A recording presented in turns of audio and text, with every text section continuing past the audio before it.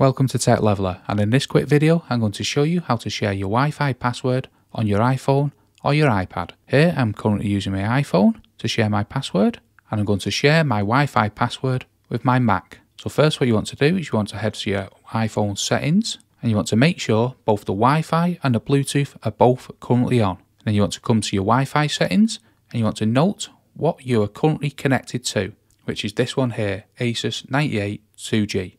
So now we're on the Mac. You want to come up to the top here and click on the Wi-Fi signal. And you want to search for other network here. And as you can see here, Asus 98 2G. And this is the one that we want to share the Wi-Fi with.